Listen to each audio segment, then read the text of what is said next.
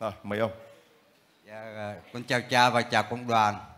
Thì ờ, con lên đây cũng nhiều lần là nhà hôm nay là con được cái ôm sớm nhất á là coi như con cầu xin Chúa là con được lên ờ, làm chứng cho Chúa. Rồi. Thì con được hai ơn ơn thứ nhất là con được gỡ rối để được rước mình thánh Chúa sau 22 năm. Ơn thứ hai. Ơn thứ hai là con bị bệnh à, tiểu đường với bệnh loét hiếp. Rồi đến khi Chúa chữa lúc nào con không hết con không biết. Vì con tạ ơn Chúa. Sao mà anh biết được giáo điểm tin mừng hôm nay anh đến đây?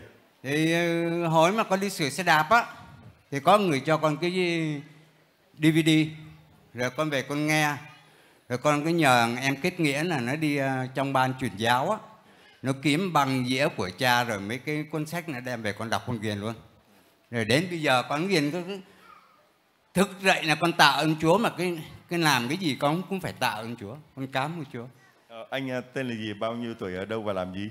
Dạ, con là Nguyễn Kinh Doanh.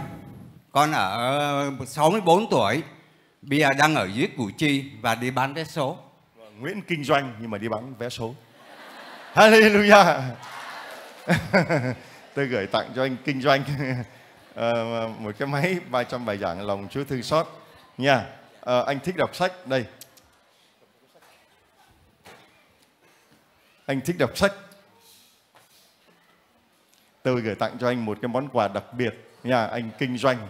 Đây là cuốn à, Nhật ký lòng thương xót Chúa nơi linh hồn tôi của thánh nữ Faustina viết lại tất cả những gì Đức Giêsu muốn Ngài viết trong suốt từ năm 1931 đến năm 1938 mặc khải về lòng thương xót Chúa, cuộc đời thánh nữ, những thử thách, những gian truân và lòng thương xót Chúa được tỏ ra cho thế giới như thế nào. Tất cả được ghi ở trong cuốn Nhật ký lòng thương xót Chúa nơi linh hồn tôi của thánh nữ Faustina xin lại được làm một món quà Tết đặc biệt cho người kinh doanh bán vé số ở Củ Chi.